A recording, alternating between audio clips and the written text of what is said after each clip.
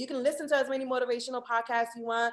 Um, look, read, like watch motivational YouTube videos, read motivational books. But it's just like, okay, you're shifting your mindset, but like, what are you actually doing about it too?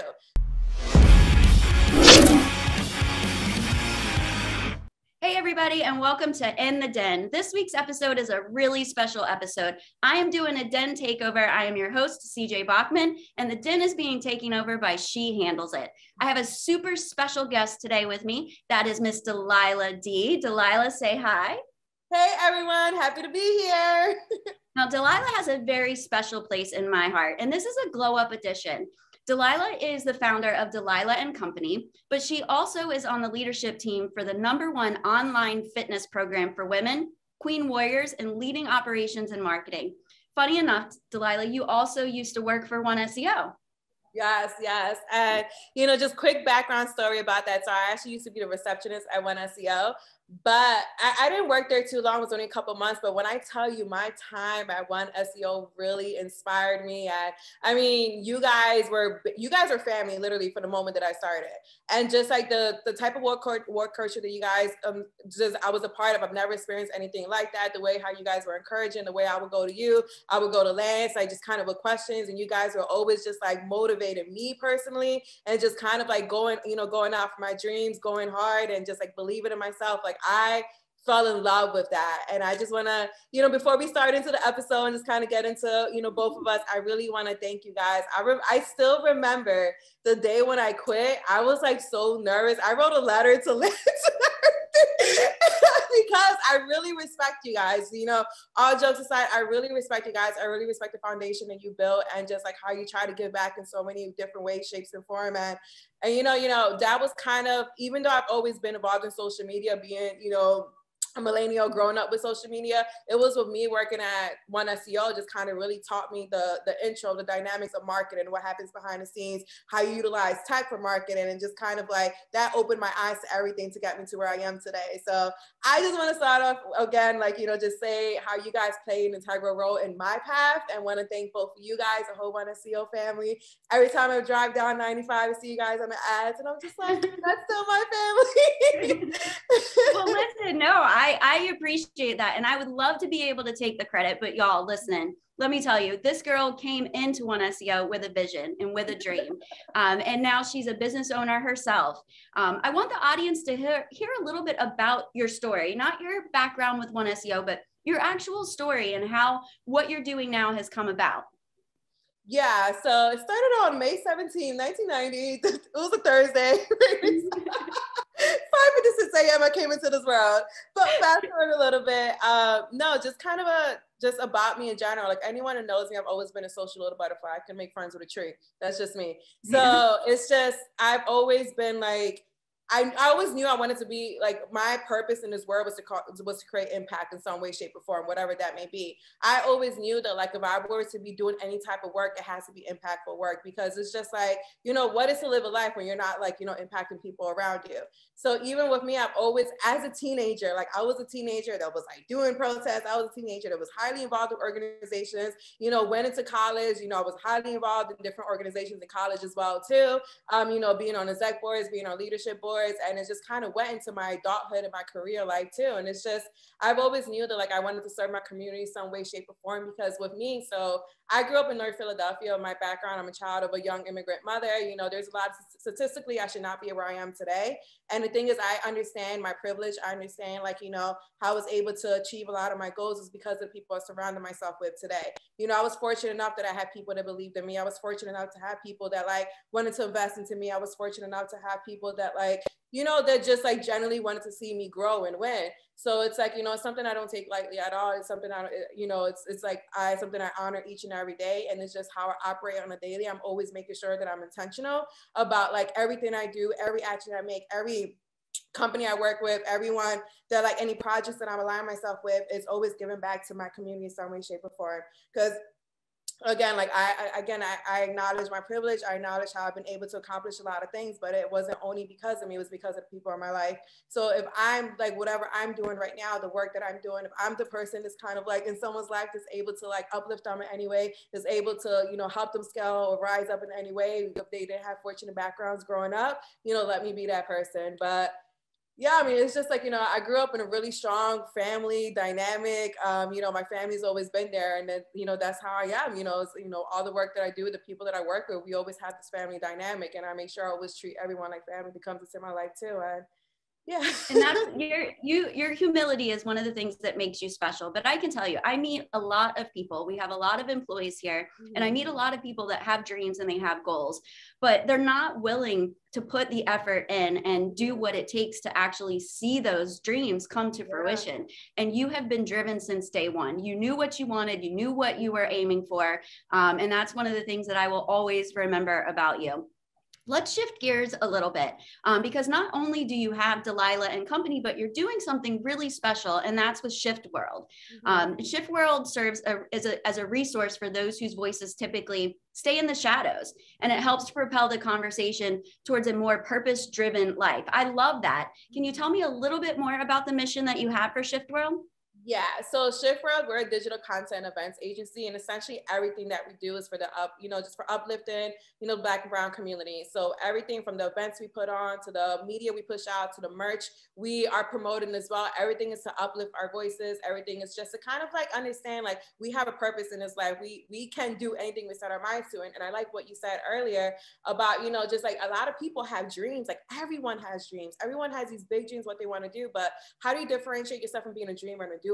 So a lot of the content we push out, a lot of the messaging we do, and even like with brands that we partner, like we know that we create spaces for, you know, Black, Brown, Indigenous communities, just kind of like having them understand the difference between being a dreamer and a doer you know, we have everything we have, we need within ourselves to like, you know, want to become the best version of ourselves. But, you know, a dreamer is just someone is just like, it has these grand dreams, but then they may blame this person, that person as to why they're not like where they are in their lives. But we need to understand the power we have within ourselves. We need to understand we have everything we need, but it's just up to us to believe in ourselves. It's up to us to have the work ethic. It's up to us to like, you know, to push ourselves to want to become a better version of ourselves and just like changing our situation. So with Shift World, like the whole concept is shifting your mindset. Because again, you can like you can you can you can listen to as many motivational podcasts you want.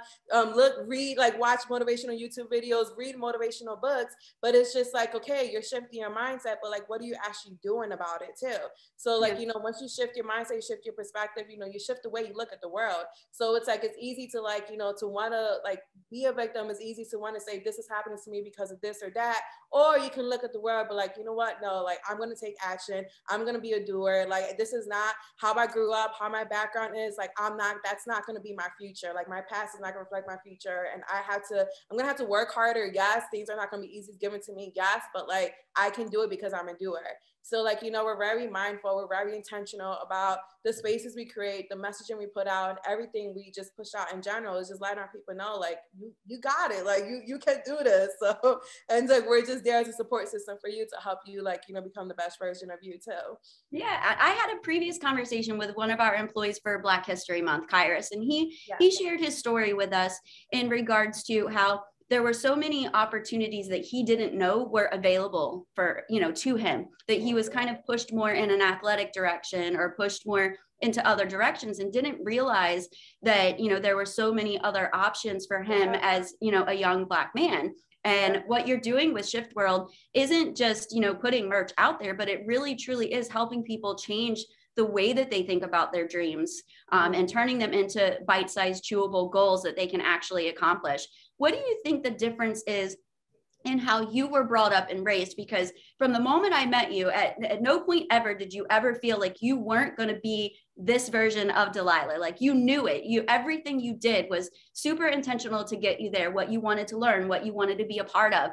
What do you think really changed that for you that made you say hey listen i know i can do this.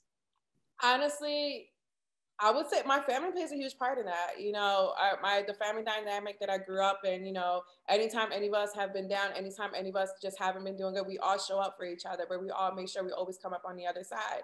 And just kind of like when I went away to college, like you know, I went to predominantly white institute. I went to Penn State University, so that was a huge culture shock for me. So like just kind of like you know, someone who grew up in North Philly, went to school in North Philly, went to like that's all I experienced was just being around like my community. And I go to a PWI, and then you know that was just just like, okay, you know, it was a culture shock for me at first. It was an adjustment for me too. And then, but like once I realized like when again, it, it's it's understanding my privilege. Understanding my privilege is what really just kind of like, okay, like I need to make the best of the situation. I need to understand, like, you know, my mom sacrificed so much for me to be where I am today, and it's just like for me, it's just it's a it's a matter of disrespect that I won't like become the best version of me because everything my mom went through just for me to be here, everything my grandparents went through when it came to this country, and it's like everything, like you know, in general, my family, just for us to have this opportunity. So like for me, it's just like once, and I think it was because because when I when I went to Penn State, and at first I used to be shy, like realistically speaking, I used to be shy about my culture. Because you know, like you know, I, am over here with not a lot of people that look like me in representation, so I would like you know t- tone down my culture, wouldn't want to play Spanish music, wouldn't want to do anything of that because I wanted to be accepted by my roommates, I wanted to be accepted by you know my my college mates, but it was me being involved in the the multicultural resource center and then like being involved in organizations and then with those organizations just understanding the power of like understanding my culture being empowered by my culture not being shamed by my culture but using my culture to like you know it's a part of me so there's no reason to be ashamed of it. So like once i really started like diving deep into like understanding my identity, understanding who I am, and understanding what I represent. It's just like it's just what adds more fuel into like why I had to become the best version of me. Because just like historically speaking, like my people in general didn't really you know, just is, is not there. So it's like, you know, the fact that I'm living here right now, the fact that my ancestors, I'm a, like, I'm a representation of like my ancestors that fought for me to be here right now. I had to become the best version of me because there's a reason why I'm here today. And again, I don't take my life for granted at all. So that listen, and that's such a lovely way to look at it. And I am so glad that I did not get the toned down version of you because yeah. you are like you are just, you know, inspiring. You are who you are, and you're just always a pleasure to be around. And you know, I've been with you through ups and downs, and I've got to see, you know, all different sides. And I'm so glad that every side that I've seen is just the real version of you. Um, and you make it look easy, you really do, but there's definitely some struggles. Um, what are some of the struggles that you found as a woman entrepreneur, a woman business owner? Like, what are some of the, the biggest issues that you feel that you've had to overcome to get to the level of success that you're seeing today? Oh, baby, imposter syndrome is real. when you walk into certain spaces, when you walk into certain boards, and even um, even prior to me just kind of fully investing into like you know being my doing my business because it was something I always did on the side. But you know, just even with me, because I used to be the director of promotions for iHeartRadio, so I handled all the promotions for the Philadelphia market um, for some of our stations, but even still, like I was the only Latina in the room. I was the only, you know, a lot of times the only woman in the room too. So it's just, and even navigating as a woman owner, I, I feel like, you know, when I try to and but I'm I'm thankful that I'm in a place in my life right now that I, I'm surrounded by so many incredible women, like women business owners. I'm able to like, you know, go for them, go to them for advice. But before when I was first starting out, like I would go to like, you know, obviously guys, because that's usually what I see that was as business owners asking them for advice. And I always felt like they gave me like not the full not the full correct information or just didn't respect me as an owner myself didn't respect like what i had to give or and it's just it, I, I don't know i just feel like i had to like how do you be assertive without being too assertive without being looking at as like a b or anything but you need to get the job done but it's just like but you feel like you have to kiss and this is what me me personally it's not everyone's story but i feel like you know i had to like you know bite my tongue a lot because i wanted to maintain certain relationships because like i felt like okay like but they can open doors to me but i'll let them talk to me whatever way but then again once once i started getting to my confidence once i started understanding who i am and understanding like imposter syndrome like you can go over there like yeah. we're not gonna second guess me. Like I know what I'm doing. I know who I am. I know what I have to offer. So it's just like that's always been the biggest thing is because a lot of times I've been in spaces because of incredible people in my life who put me in certain spaces. But even be, even with me being there, I felt like I didn't belong. I had a question like who I am. I had a question like my purpose. I had a question my intelligence. I had a question like whether I deserve to be in this room because I'm in a room with people that don't look like me. I'm in a room with people who aren't you know, I feel like don't have the same background story as me. So that has definitely been my biggest struggle as a as a woman, as a woman of color, as a Latina business owner. It's just like, you know, it's just believing in myself and believing in my confidence. But once I got to that, yeah. There you go. and it, you're right. It is, it is super real. And feeling like you belong and feeling like people are going to listen to you and they're going to take you seriously is, is hard to, to surmount. Um, and something you just said that I, I want everybody to kind of hear again. You're, you're not just helping the Latino community. You're not just helping women business owners. You're helping pretty well much just any underserved, um, you know, community. So, for example, Shift World is also, uh, you know, philanthropic. They are, you know, donating to so many different meaningful causes and so many different missions. You've donated over 13,000 to different small grassroots organizations and the focus recently has been on you know black liberation. Um, so you know feeling like you belong like you are inserting yourself in so many di- you know different areas. Can you talk a little bit about the special relief tees and the passion that you have for giving back to the community? Yeah so i mean again i I always try to use my platform to like, you know, to be intentional about my space. I don't want to just be someone that's just taking up space in the internet. I don't want to be just someone that's just like uploading selfies and not really had any purpose. Again, once I really started understanding my identity, understanding who I am, understanding just like the value I have, and it's just like I'm very intentional about how I move, who I move with, and just like what I do and how I operate. So like even with with our so we have so the merch collection is just a part of Shift World because again we do events we do media but with the merch collection like it really took off especially during the pandemic which i'm definitely grateful for. Um but with me so it's just like i'm always like how can i use my space to impact? During the pandemic so prior to the pandemic i was always doing events people seeing me like you know i worked with different brands we work with Techstars we work with you know startups i worked with hbo like just providing spaces but because there's no longer events there's no longer everything is shut down how can i do to like still provide impact and you know serve my community? Because there's only so much you can do with the internet. So with my i've always had a merch line and the thing is with me i've always wanted to like have merch, um, like specific merch that was created to give back to a certain cause. So for those, for the donations that happened with, um, as you know, during 2020, was a lot of injustices that happened. Everyone was stuck home. So like you had no other choice but to see everything that was happening with the world unfolding and um, with the pandemic, with the riots, with everything. So it's just like with me, my roommate, my roommate's a black immigrant herself.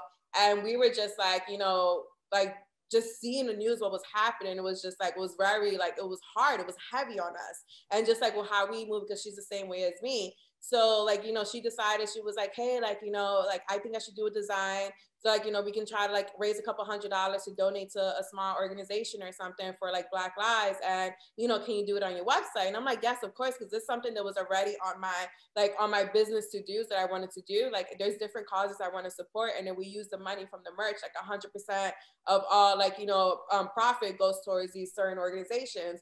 So with her, like, so my roommate, she designed um, so we had different tees like her, his Black Lives Matter, his Black Lives Matter, her Black Lives Matter, their Black Lives Matter. She designed it. We threw it on my website, and then that was the first of my philanthropic um, collection that we released.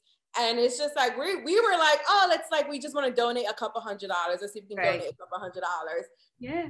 I don't know what happened. Like two days later, I woke up and I'm just like, I looked at my emails and it was like I was getting like I was getting um people coming in from Alaska, from Europe, from how are we going to fulfill these orders? How are we going to get this stuff out? Yeah, orders from everywhere. Mind you, we're at a pandemic. Everything is kind of shut down. The warehouse is like it's not happening as fast as it used to. So it was a mm-hmm. whole thing.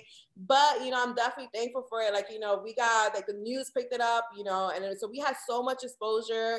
Like New York, like took it off in the media. Philly, it was just kind of everyone was promoting it, and then so it's just like you know it was it was during the pandemic and then literally all the profits that we got from that was just like was donated towards that was do, was donated to different small profit organizations that we were researching that were again that like are on the groundwork that's doing the work but yeah well, so we let's have- pause for a second and and tell people delilah how can they how can they donate um, you know to these causes or how can they purchase the merchandise? Where do they need to go? And we'll we'll put it in the post for them as well. But you know let's just take a moment and tell them now how can they help So you can go to shiftworld.com and then you can see the specifics. So we have different causes that we donate to. So you can like the shirts, you can like purchase those shirts, but for donations, I don't accept any of your donations. If you want to accept, if you want to donate to any of the organizations that we've donated, we have on our website the organizations that we've donated to. So you can do and your research, see if you feel called to, if your heart feels called to it. You can just go on their websites and donate to them. But I don't, I don't accept any donations or anything. You guys can just like purchase a merchandise, or you can just go to the organization yep. themselves. Awesome. Um, and we talked a lot about mindset, and that's something that you and I really share in common from my upbringing to your upbringing. Um, you know, there's just something in both of us that says, you know, no matter what the world says about me, um, you know, this is what I'm going to do. This is who I'm going to be. This is what I'm going to go after. Um, and that's something that's super important to me. But there are a lot of people listening here that maybe they're on the fence. Maybe they just started their business. Maybe they have this idea and they haven't gone after it yet. What's some of the advice that you, Miss Delilah Dee, this you know massive, impactful individual that you've become, what advice do you have for those women who are, are either just getting started or afraid to get started? Just go for it. You know what? Perfection is like can can cause you to be a failure. Because there's a lot of people who may hold off because they're waiting for a perfect time they're waiting for a perfect moment they're waiting for a perfect product. And it's just like what i've learned especially in the entrepreneurial space like you just gonna learn as you go. So i feel like you know a lot of a lot of people and this is just a lot of my own peers that i know too like they hold off from becoming like having something great they're sleeping on their ideas because they're just like oh maybe it's not gonna be too good. Maybe it's not gonna be received well. Maybe like they're just overthinking it and then they hold themselves back. But it's just you know just go for it. I think um i had one time i forgot what i was reading and there was this quote and, and, and it stuck to me and this is why like you're gonna always see me launching things. You're always gonna see me trying things out but this really stuck to me. So i'm gonna ask you what do you think is the richest place on the earth? Cj the richest place where? What do you think is the, the richest place in the earth? Uh gosh i wouldn't even be able to tell you i mean i would yeah, I wouldn't even be able to give you a guess. So the richest place in the earth is a cemetery the richest place in the earth is a cemetery because a lot of incredible ideas, a lot of life impacting ideas, a lot of life saving ideas, a lot of money generating ideas die with people because they were too afraid to start, because they were too afraid of like thinking it wasn't a good time because they were waiting for a perfect time. And it's just, just kind of thinking about that, like how many people could have had a cure for a disease or how many people could have like sat you know the foundation to build generational wealth for their like their descendants and everything but they were just too afraid to start or they were too afraid like so i can see why that i can see why that stuck with you like that yeah. that is impactful. That's better than our you know our seo uh you know kind of quote which is what's the best place to hide a dead body? on the second page of google. I mean that's way more impactful um you know, you do a really good job of marketing yourself, and you've done a lot of self teaching. Um, of course, you had some experience when you were here as well. But what are some kind of marketing tips that you would give to people who are just getting started and don't really have a lot going on? What are some of the things that you've kind of learned throughout the time with, um, you know, Delilah and company and even Shift World to really get the branding out there? Honestly, just be authentic. Be authentic to your voice. Don't be afraid of you know, understand who your niche your niche community is, and then you know just do the storytelling. Like storytelling is so important when it comes to marketing, like, especially now because people we're so consumed by social media, we're so consumed by media everywhere. But like, there's so many products, there's so many offers that's being thrown at us on a daily basis. You cannot scroll through your feed without seeing some type of sponsored ad. But like, you know, what's gonna make people want to buy into your product or your business compared to someone else's? And a lot of times, like a, a lot of people tend to forget it's your voice a lot of people want to get to like want to understand the brand. A lot of people want to understand what's the story behind it because a lot of people buy into stories.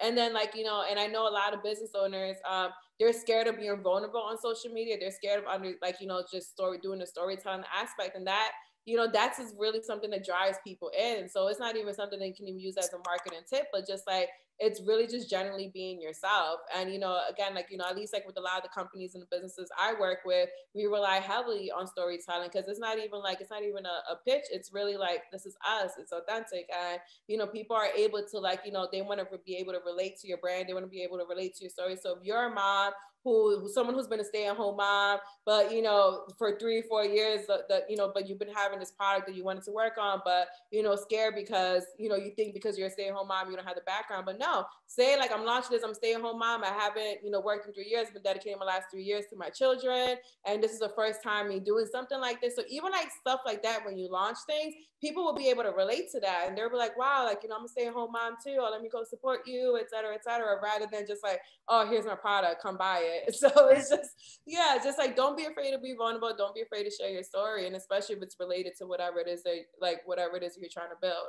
And I would have to say you're the the queen of vulnerability. A lot of yeah. your postings, even when you were really kind of going through and dealing with, you know, your own imposter syndrome and stuff, you weren't afraid to share that and let people know. You weren't afraid to, you know, not just show the the fancy side of traveling and stuff like that, but to show them you know the struggle and how much it meant to you for the people who were supporting you so um, I need to get you into the office. We need to go for lunch. Lunch is on me. So come on. Yes, uh, let's, sure.